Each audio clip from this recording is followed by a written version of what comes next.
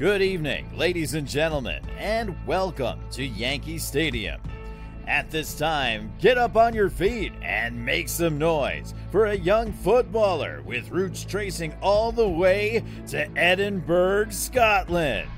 New York City, please welcome the Warden of Westchester, two years old and three feet of terror. Number three, Harrison Braveheart Bird.